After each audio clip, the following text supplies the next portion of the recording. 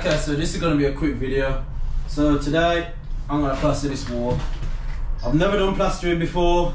I've never even observed anyone plaster. I've just watched a YouTube video yesterday.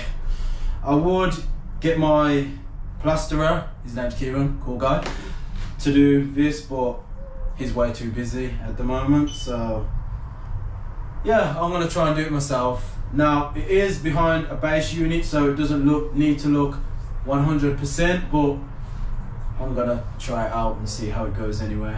In no way, shape or form am I saying that plastering it is easy, because it's not. I don't know, it's not. I thought I'd just try it out today. Because my plasterer is busy. So, yeah. So first off, as you can see, I'm just prepping the area, sweeping down any dust and debris and knocking over any loose bits and nails, making sure that the area is completely dust free and debris free.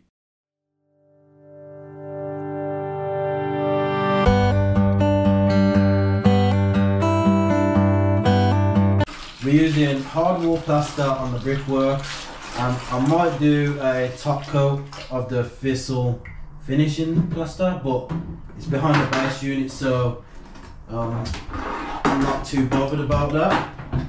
And the customer's not too bothered about that. So, yeah. Here I'm still prepping the area. I'm just adding some PVA and water to a mix and I'm just going to PVA the wall. Here I'm just PVAing the wall. My thought process is just get a lot of PVA on, making sure that the whole area is covered top and bottom.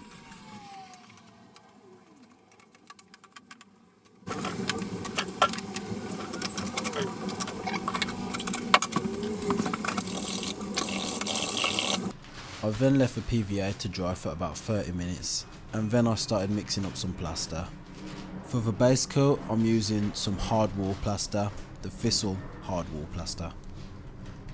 I add my plaster, add my water and then start mixing up.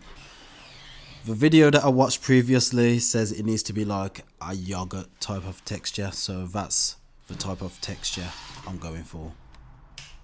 It did take me a few attempts to get the complete right texture, but I just added a bit of plaster, added a bit of water, mixed it up, and then repeated this process until I got the right texture because it is my first time.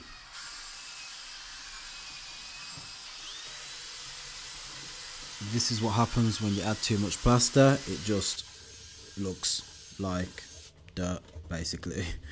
And this is what happens if you use too much water. It's just too sludgy. So it is very important to get the right texture that I found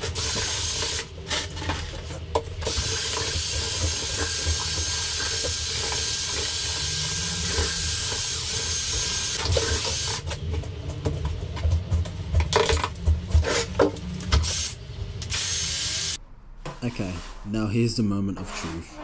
Now to every plasterer watching, just, oh, I'm sorry. Now I'm going to be quiet for the majority of the video now and I'm just going to let my troweling do the talk. Bear in mind, this is my first ever go at plastering.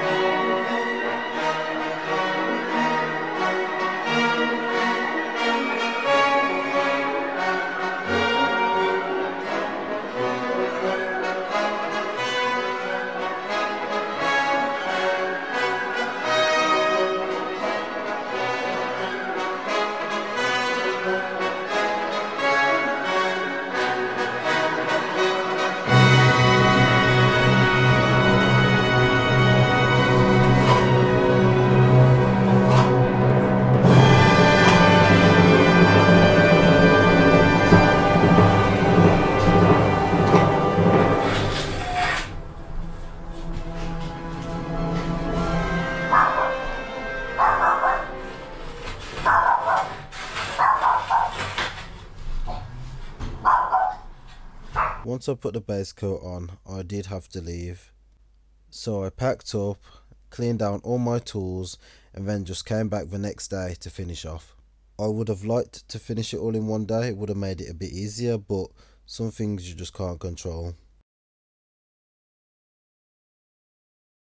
And this is what it looked like when I came back. Now, I wasn't expecting it to look like this, but it was just a first coat, so I just got everything ready, prepared, and then done the same process, put another coat on.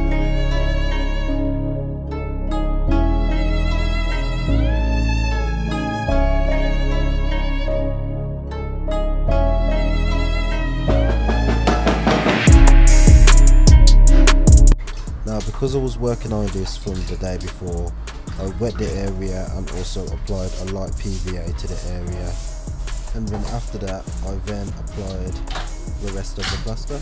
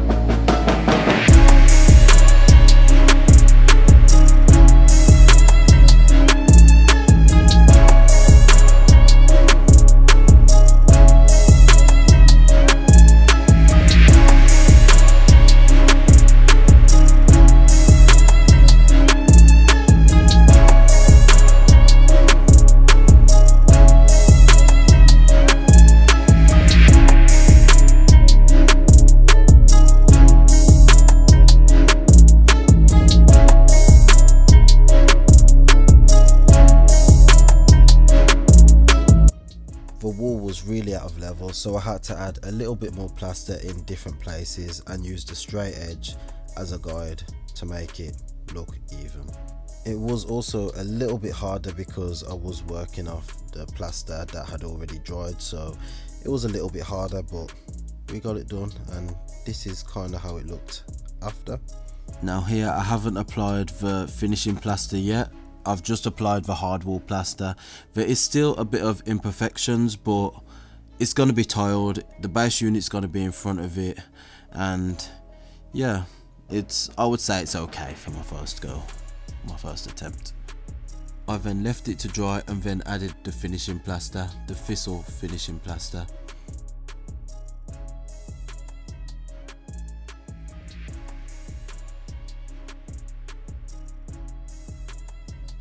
And this is what it looked like after I had completely done. Now, I know it's not 100%, I'm not a plasterer, tried my best, but yeah, um, the base unit's going to be in the way, it's going to be tiled and I know it's going to look great after. And this is what it looked like before, and this is what it looked like after so the back was painted the backboard is in and it's all tiled so you can't even see any imperfections. And I will be doing a whole video on how me and the apprentice done this little renovation and the process we took. But that's for another video. I hope you like it and goodbye